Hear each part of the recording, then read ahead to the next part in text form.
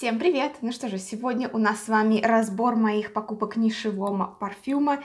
А, я собрала вам, вам тут 4 парфюма очень известных, возможно, противоречивых. И, честно говоря, я откладывала снятие этого видео очень долго, потому что Здесь будут присутствовать, я, я боюсь обидеть чувства верующих, здесь будут присутствовать парфюмы, которые многими любимы чуть ли не до парфюмерного я, парфюмы, которые считаются иконокластами, парфюмы, которые задали историю а, во многом для многой, для многой другой ниши и селективов, и вообще истории парфюма. Для меня вся эта история новая, и я говорю, что а, я понимаю, что на разную кожу может садиться по-разному, в разных условиях, в разной влажности. Не только это, но еще от того, что мы поели, как мы поспали, что у нас происходит в жизни. А, Все это налагает свою окраску на то, как мы воспринимаем парфюм. Так что я не могу больше откладывать. я решила, что все-таки я должна поделиться своими впечатлениями. Но я так уже сразу скажу, есть тут страстно любимый парфюм один. Есть парфюм, который я вообще просто не могу выносить. И вот только из уважения к сединам я его держу.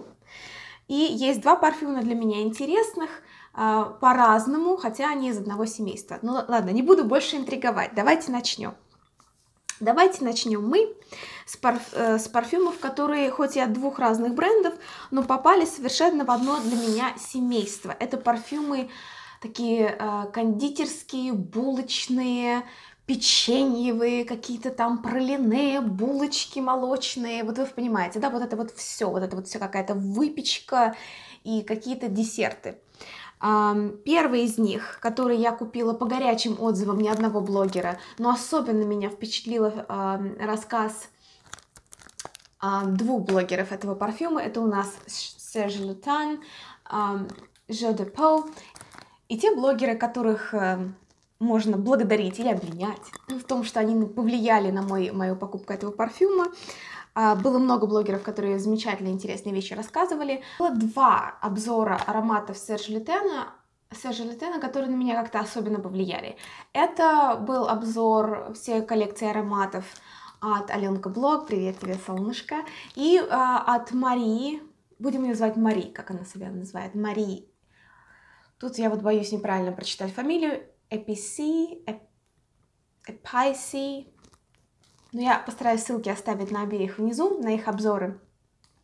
Они так, с такой страстью, с таким знанием, с такой, с, таким уровнем деликатных каких-то тонких моментов и оттенков рассказывали про этот парфюм.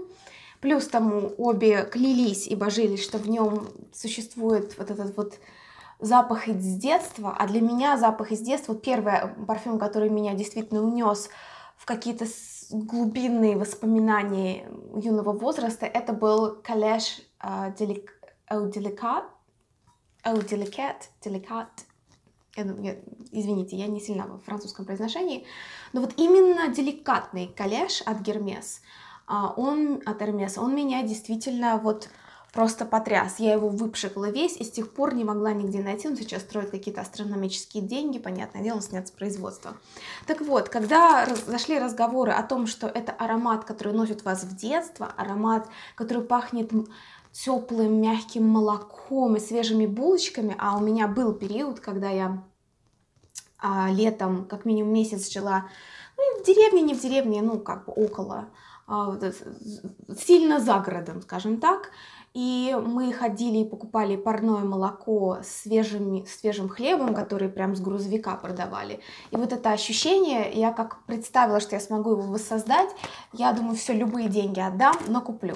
Так вот, давайте посмотрим на его красавца, что особенно, конечно, а, красиво и вкусно ароматах Сержа Лютана в том, что хоть тут бутылочка и, казалось бы, ничего особенного, она просто прямоугольная, но здесь очень грамотная и толщина стекла, и обработка граней.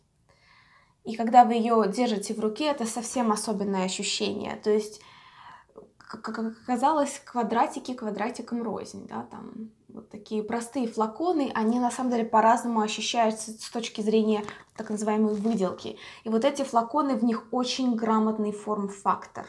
Мне особенно нравятся размеры в 50 мл. Я слышала как раз от Марии, она делала, по-моему, у нее называлось видео «Серж Лютан метаморфозы». Она отслеживает все это дело и рассказывала, какие грядут изменения в доме Сержа Лютена по тем а, под эгидой смены руководства, которое было инициировано компанией Shiseido, это компания, которая купила этот бренд Serge Lutens. Вот посмотрите ее видео, она там рассуждает о том, что останется, что уйдет, какие, чего стоит ожидать. И вот одно из изменений, не хочу вам спойлеры, лучше посмотрите ее видео, но один из спойлеров это то, что Э, флаконы 50 мл уйдут.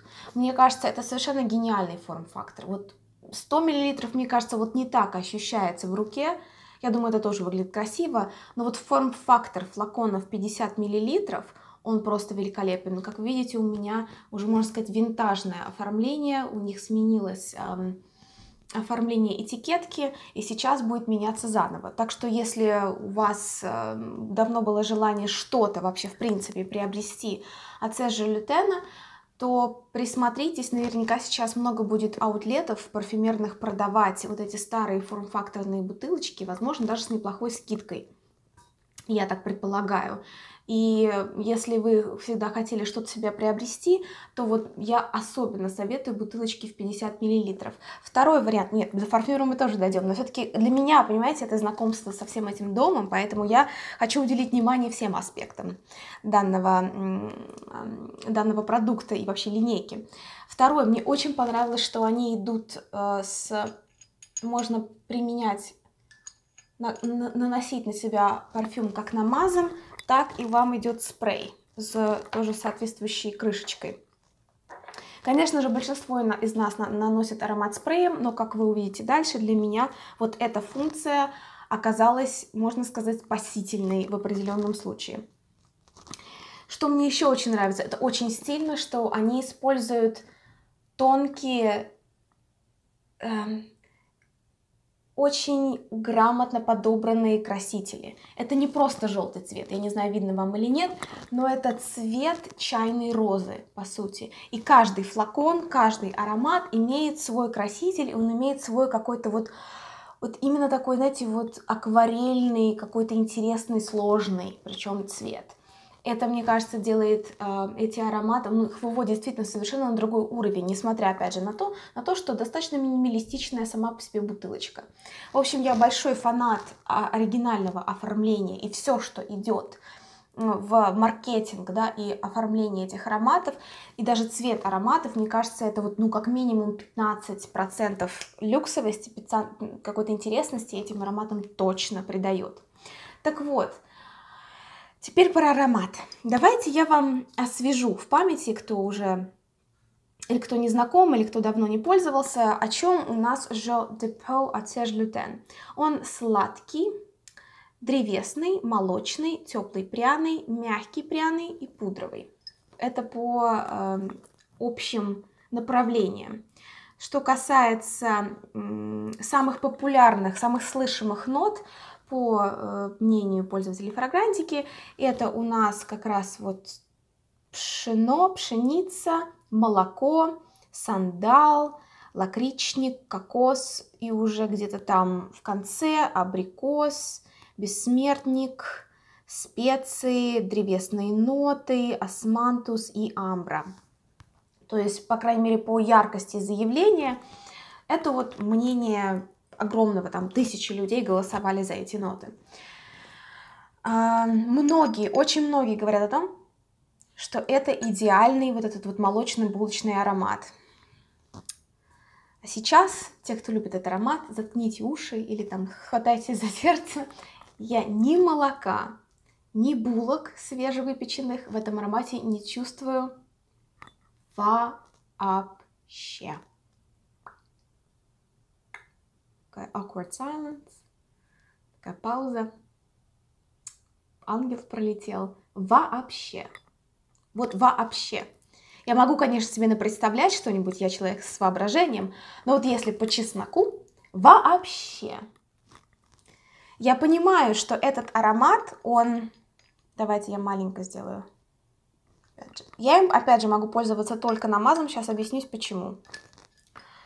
Я им могу пользоваться только намазом, потому что когда я наношу его точечно и в определенные места, и только так иногда он проявляет себя, я еще могу мне еще не так тошно. Если я его, я один раз попробовала, походила его распшикалась, меня начало просто очень резко, резко тошнить. Что хорошо в этом аромате, что он действительно яркий, он многогранный, и он долго-долго с вами находится. По крайней мере, я его чувствую целый день, если не дольше. Что проявляется на мне? На мне проявляется жженая кость, какая-то горелая вот нота, да, вот чего-то вот как будто подгорело что-то. Мне кажется, если пролить молоко на плиту, и оно там будет подгорать, вот оно вот так где-то будет пахнуть. И до тошноты невыносимая сладкая карамель. Вот прям карамелью мне бьет в нос так, и она хоть убей, не улетучивается целый день. И она меня просто вот меня выташнивает от нее, от этой карамели. Я ничего не могу, честно говоря. Я как только не пыталась пшикать намазом сюда, на, на одежду. Вы знаете, на одежду еще не так плохо. Это действительно что-то, наверное, с химией моей кожи и в сочетании с этими ингредиентами. На одежду чуть-чуть меньше горелого и чуть-чуть меньше вот этой вот такой вот хватающий вас через нос за самые кишки вот этой карамельности. А, поэтому, возможно, я буду что-то делать, как, может быть, на волосы, может быть, на шарф, ну, что-то в этом роде. И, опять же, только точечно какими-то местами, чтобы это было очень разведенное, очень акварельное что-то. Потому что аромат действительно, у него есть характер. То есть, если его даже три пшика сделать, вам вот так вот хватит.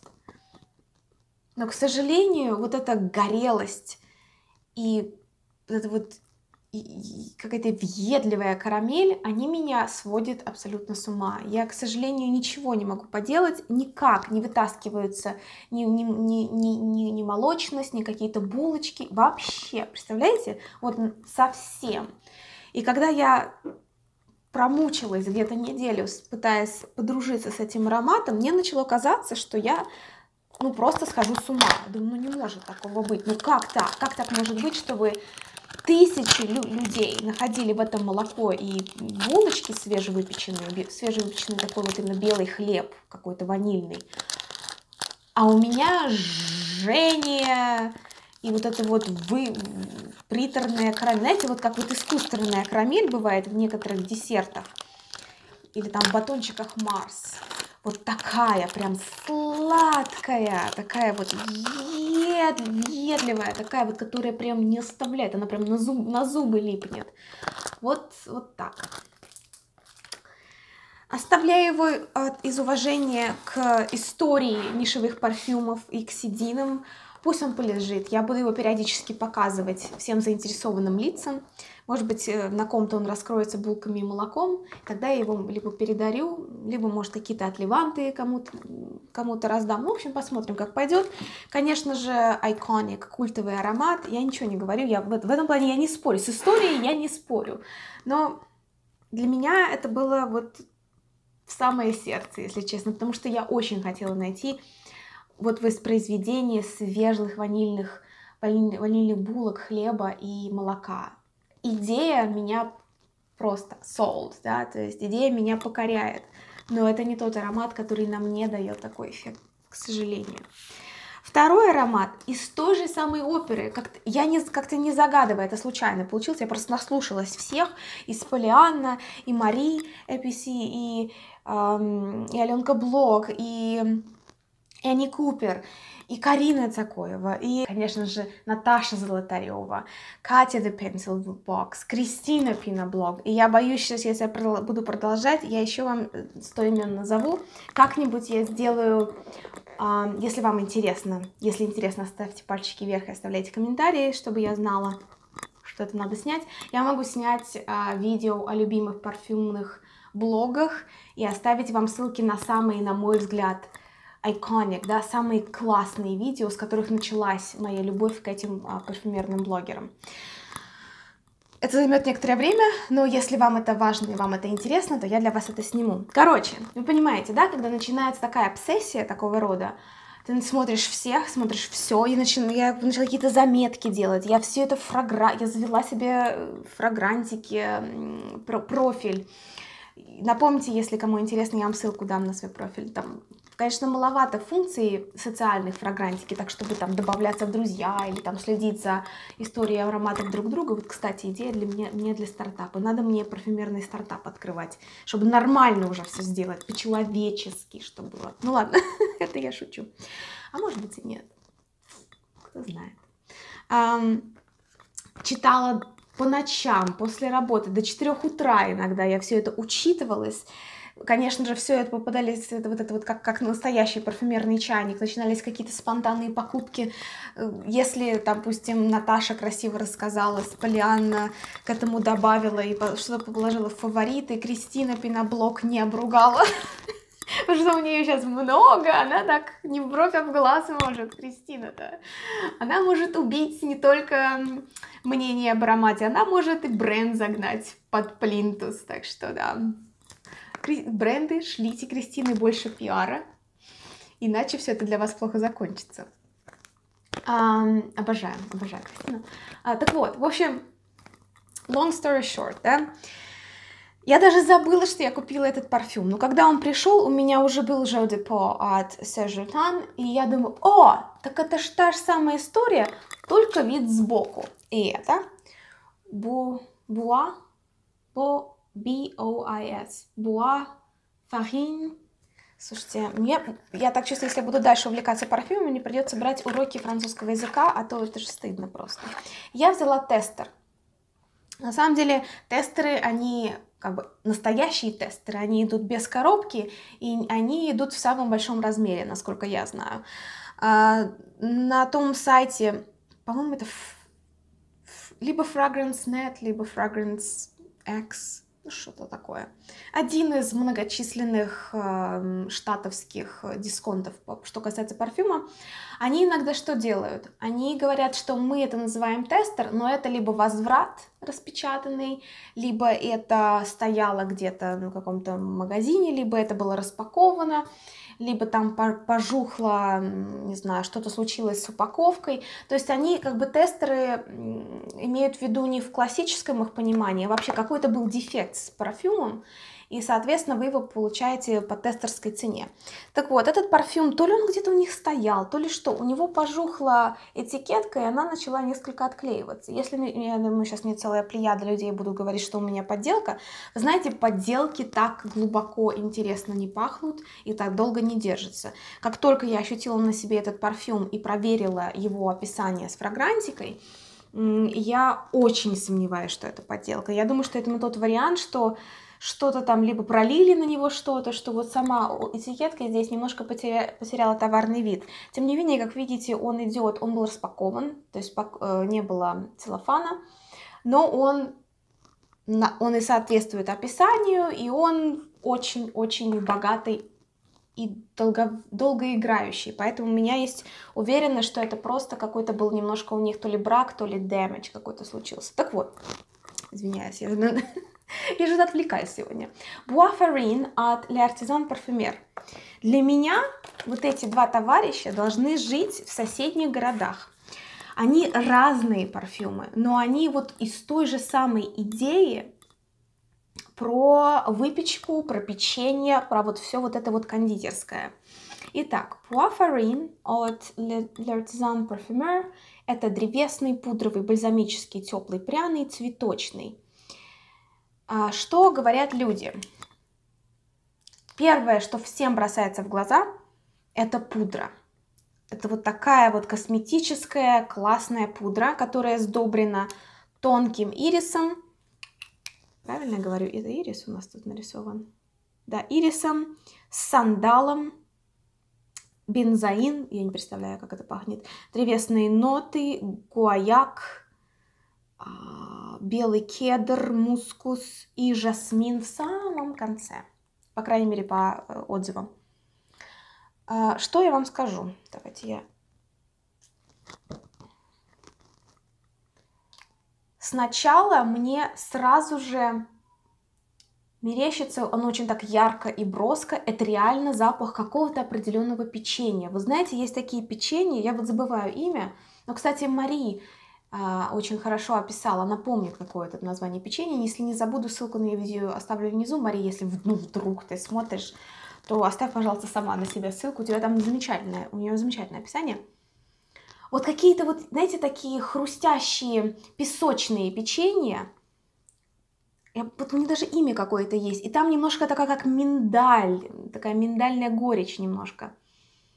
И они, знаете, вы их когда кусаете, они прям рассыпаются у вас во рту. Вот эти вот миндальные песочные печенья, это прям первое, что просто бросается на вас.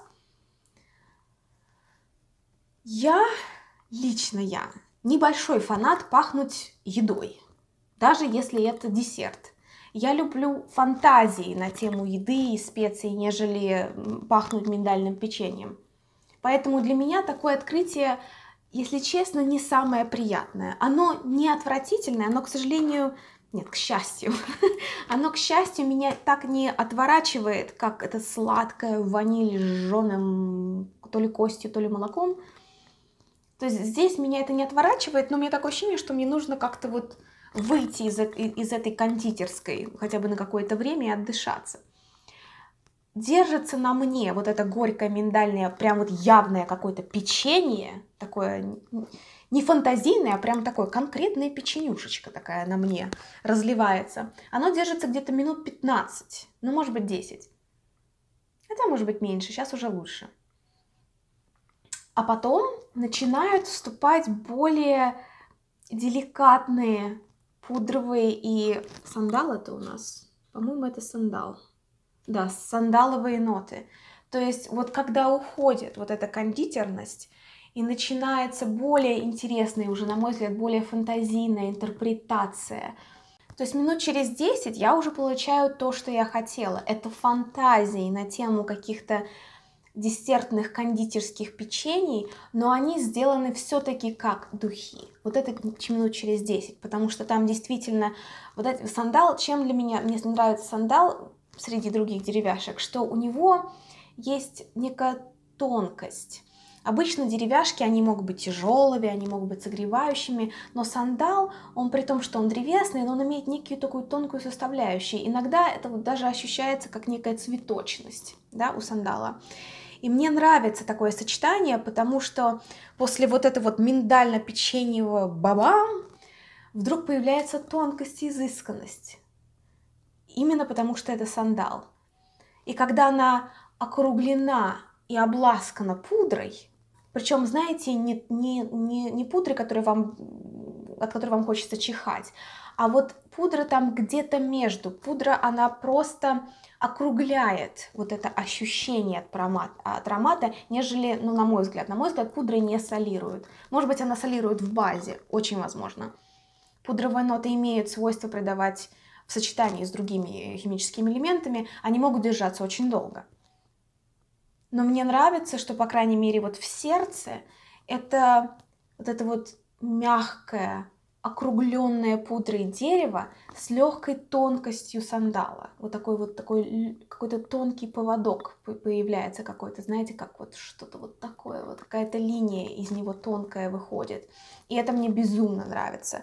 Именно поэтому я очень рада, что у меня появился этот парфюм. Также рада, что он у меня только в размере 50 мл, потому что, если честно, вот эти вот миндальные печенья, если вы любите, если для вас миндаль это все, это мое, и вас, э, вам, в принципе, вполне устраивает вариант пахнуть миндальным печеньем, и вас никак не, не отталкивает, слушайте, Буафарин это, это вот, наверное, лучшее кондитерское произведение парфюмерное, которое мне пока что вообще попадалось. Я очень-очень вам советую. Для меня же это как немножко минус. Мне хочется все-таки поскорее уйти от явности, да, от явной ассоциации к чему-то чуть менее очевидному. Это происходит, но мне приходится как-то дождаться этого момента, и потом я уже начинаю от него балдеть. Буафарин хороший, люблю, нет, не могу сказать, что люблю, но нравится. Нравится, если подождать 10 минут. Так, это вот два красавца, что касается э, печенья кондитерских ароматов. Я в общем очень довольна, что я по вашим, девчонки, рекомендациям их попробовала, но я все равно какой-то преодолеваю внутренний какой-то страх. Я понимаю, насколько это могут быть противоречивые темы, особенно когда ты говоришь об ароматах типа Сержа Лютана, которые историю, да, shaped the history, то есть они вехи в истории парфюмерии, и сказать свое честное мнение кажется почти кощунством. Да, я очень, я честно, я очень долго откладывала это видео, но это то, как оно есть, ребят. Ну, вот так, как оно есть. Может быть, оно поменяется, может быть, но говорю правду по своим чисто субъективным впечатлениям. Далее, два аромата, которые часто получают похожие общие отзывы. И один тоже от Сержа Лютана, второй тоже от L'Artisan Parfumer. У меня вот как-то получилось, что эти две пары такие похожие и совсем не похожие, которые я хочу вам показать. И, об, и все четыре новинки. Эти два аромата часто описывают как тяжелую артиллерию. И они часто осенне-зимние, они для тех, кто понимает, для тех, кто в курсе, они для настоящих женщин. Тоже я это слышала достаточно часто.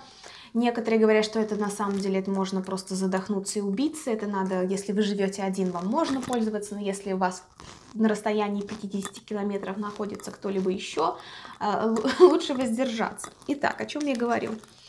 Это Серж Шарги. Не бросайте меня тапками, хорошо?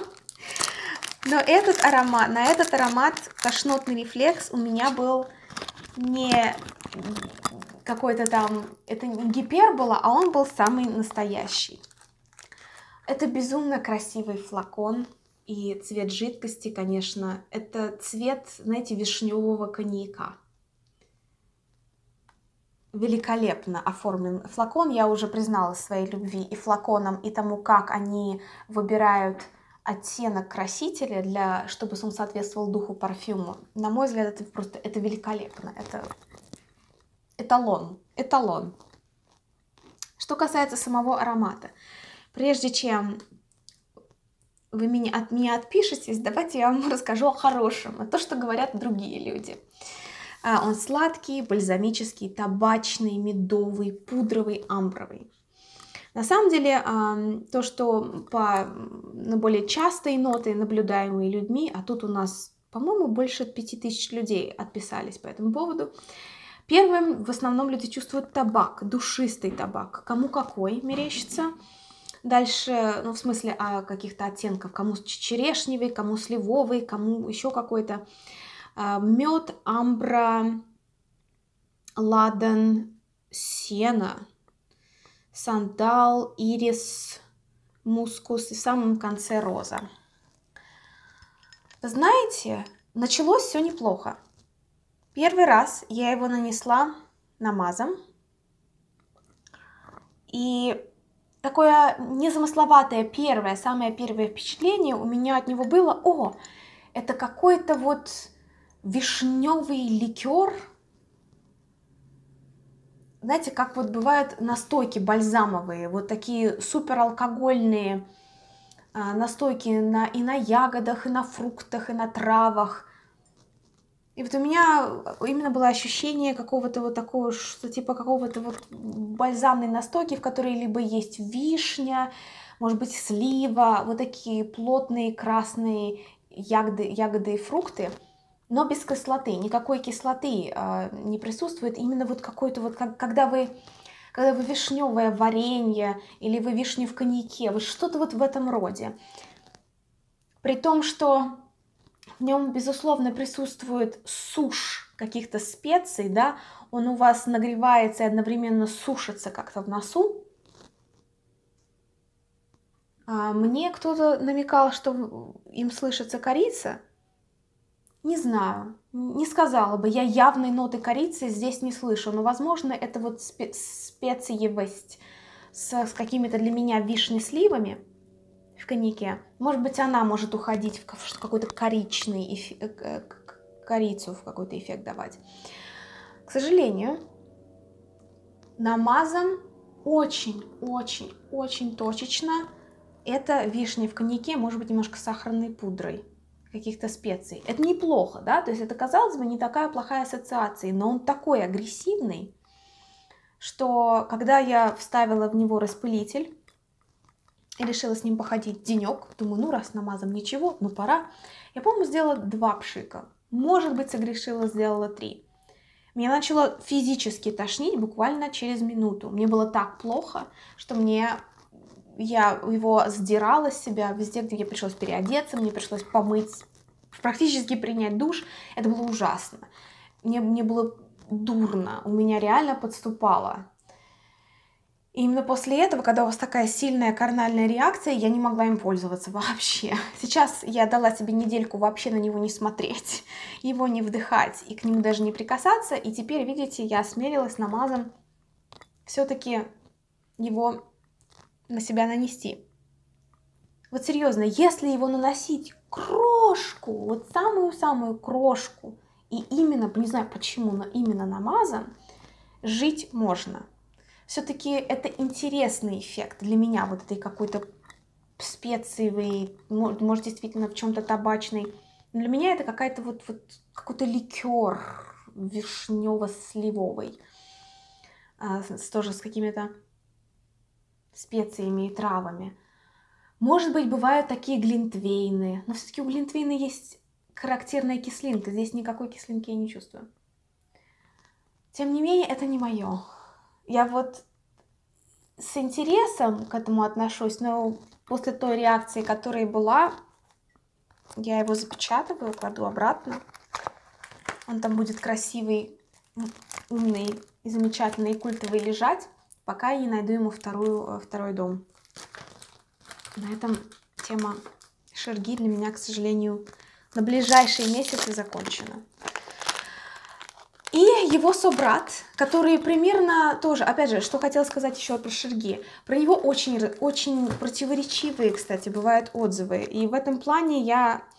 Для меня это, вот, честно, было облегчением. Вот многие говорят, зачем писать негативные отзывы на парфюмы, если вам не подошло?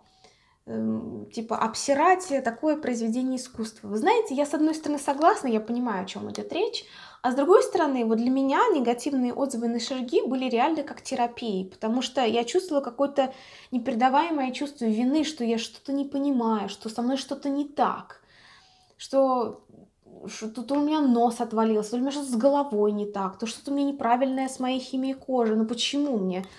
Ну, ну а, плохо до тошноты просто от него. Но когда я прочитала несколько подобных, очень похожих, именно с похожими ассоциациями отзывов, я поняла, что это действительно индивидуальность не только химии кожи, не только даже насколько вам влажная погода, там тепло, холодно, но еще, обратите внимание, у людей есть разно, разные чувствительности и разные, разного калибра носовые рецепторы, вообще рецепторы запаха и вкуса.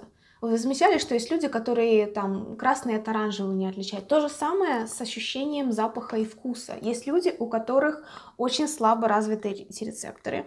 Есть люди, у которых они развиты очень сильно, и для них любой сильный запах это практически мучение, потому что не гиперстимуляция происходит головного мозга а, от гиперчувствительных рецепторов. Более того, это не только много-мало.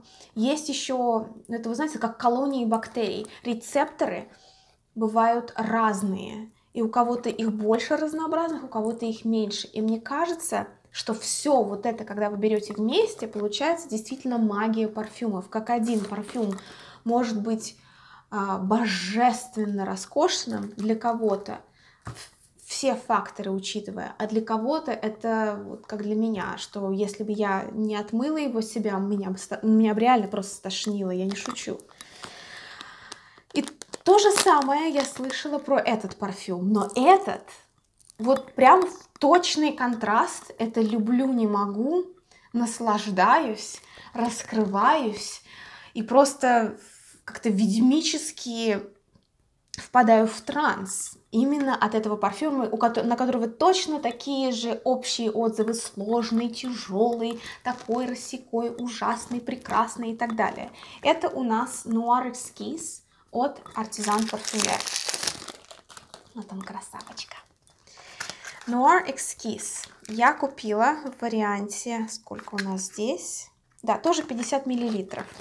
Честно говоря, это самое мое любимое оформление. Так, он у меня застрял, замечательно. А, это самое мое любимое оформление артизанов. Я не знаю, оно относительно новое или, на, или наоборот относительно старое.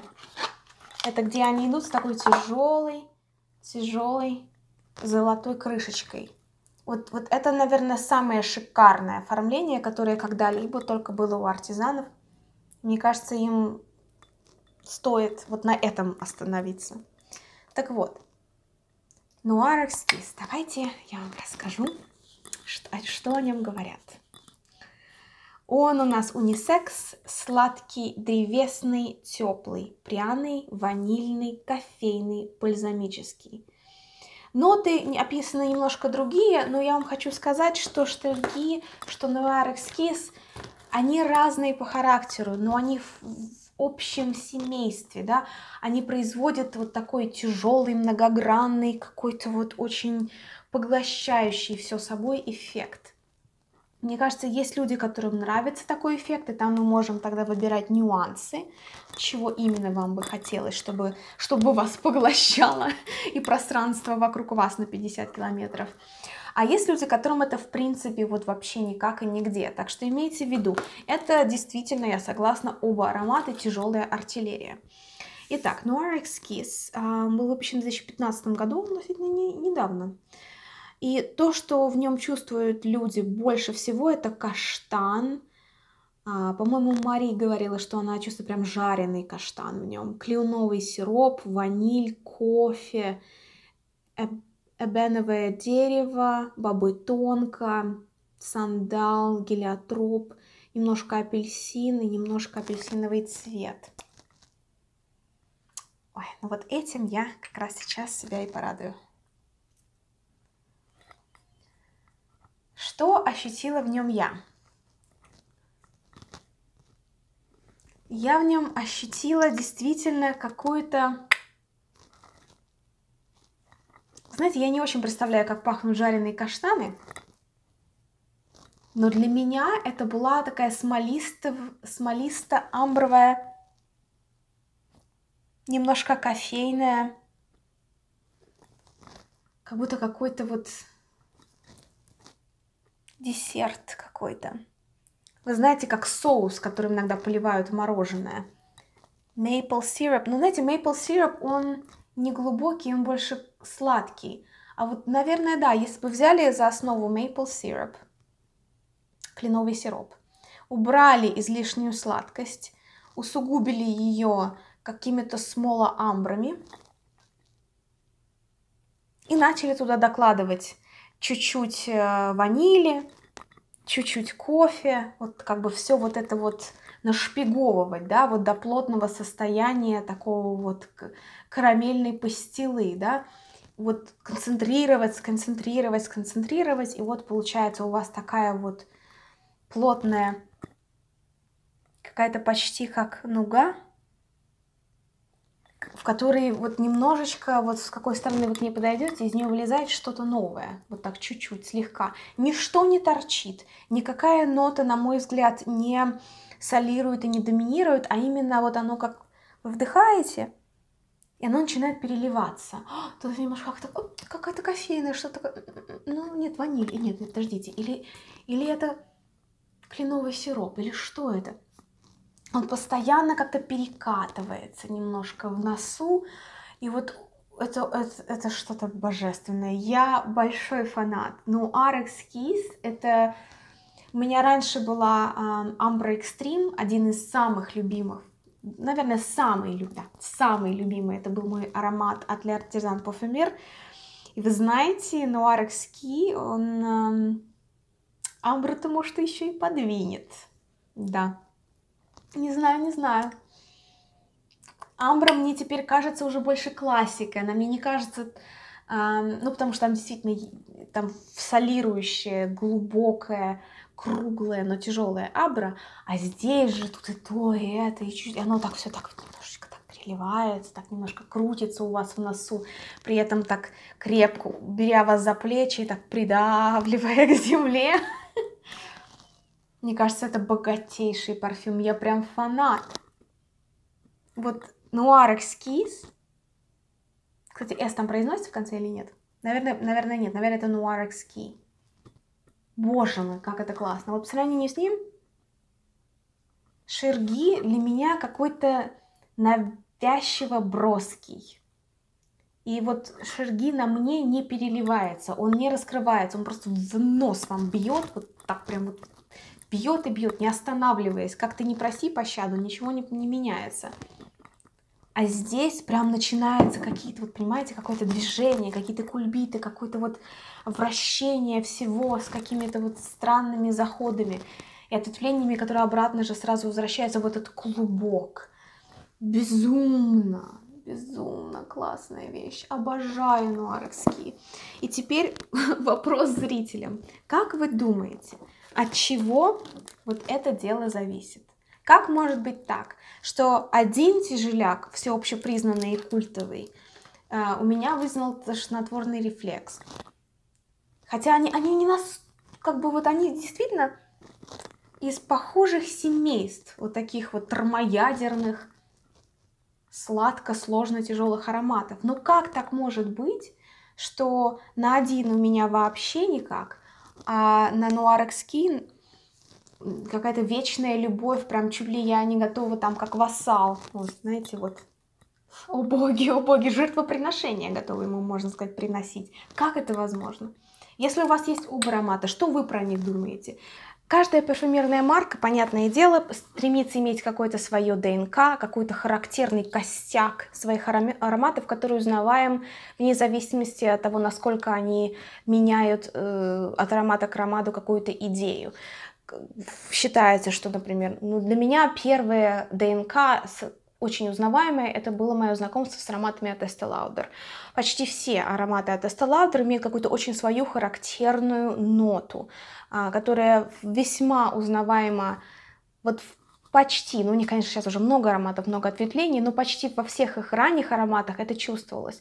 То же самое происходило, э, то же самое было с Сальвадором Дали, то же самое с Шанелями, то же самое со многими другими. И я вот думаю, моя страсть и приятие, и как переливаются и играют на мне ароматы артизан-парфюмер – против того, как пока что эм, просто не, невыносимо мне даже пробовать что-то делать парфюмами Сержа Лютана. Мне очень страшно, но вдруг, как вы думаете, может такое быть, что это именно ДНК, это какая-то базовая, базовое составление, то, что составляет характер дома и парфюма Сержа Лютана, это то, что может быть несовместимо с чьей-то кожей. Очень хочется надеяться, что не так, потому что если так, то получается нет смысла даже что-то еще пробовать.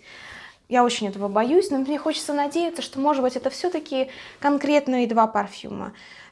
Ну и опять же, ниша такое дело, я уже начинаю понимать, что мои опасения насчет погружения в нишевые ароматы были оправданы. Я, зная себя, в общем-то, уже не первый год, начинаю понимать, что не все эксперименты я готова наносить на себя. Я могу оценить запах, не знаю, металлического ножа, на котором растеклась кровь, но это не значит, что я просто потому, что это гениально передано химиками, буду хотеть это вообще вдыхать. Не то, не то, что там нас на себе носить, а вообще выдыхать такие вещи. Я верю. Знаете, по Станиславскому, я верю. Я верю, что можно создать запах на... А я верю, что можно создать запах э, грязи, в которой лежит запекшаяся кровь. Я верю, что можно создать запах бензина, в котором, в котором, в котором случайно упал букет роз. Все можно. А, просто я все больше думаю, мне это зачем? Я надеюсь, это не очень депрессивная линия мысли. Мне бы очень хотелось подум- ваше мнение, потому что я думаю, многие из вас, кто хотя бы раз сталкивался с нишей, у вас тоже было какое-то свое путешествие от сомнений, от люблю к ненавижу, может быть, э, менялись ли у вас от ненавижу к люблю? Есть ли возможность, есть ли вариант, что, например, Жо де Пау в какой-то момент станет на мне звучать вместо жженых каких-то костей с карамелью, посыпанный, политый поверх, а вдруг начнет там мне звучать свежими булочками с молоком, или вдруг я влюблюсь в этот э, запах жженой кости с карамелью и скажу, вот это то, что надо, прекрасный каннибалистический десерт, люблю, обожаю. Может такое быть? Бывало ли у вас такое? Чего мне ждать от этого путешествия? Не скрою, Ко мне едут еще несколько парфюмов и от Сержа Лютена, и от Артизан Парфюмер. Поэтому я буду ждать ваших историй и ваших соображений на эту тему. Давайте пообщаемся, давайте обсудим поподробнее. Опять же, если у кого-то из вас есть оба парфюма и Шерги, и Exquis, в чем видите между ними плюсы и минусы. И то же самое, что касается Буа Фарин от Артизан Парфюмер и Жо Депо от Серж Лютан. Буду ждать ваших комментариев, вопросов, историй и вообще фидбэка. А затем прощаюсь. Спасибо вам большое за внимание. Подписывайтесь на следующие видео. Будет много интересного. Будет разбрахление, и будут лаки, и будут много парфюмов, будут покупки, будут тематические обзоры. Я даже думаю, на некоторые особенно выделившиеся я буду делать а, мини мини такие атмосферные видео, посвященные одному парфюму, чтобы, ну, как бы, знаете, вот запечатлеть их в истории и обратить на них ваше внимание. Так что да, если вам все это интересно, то обязательно подписывайтесь. Спасибо вам еще раз за внимание, за комментарии, за лайки. Целую и пока-пока.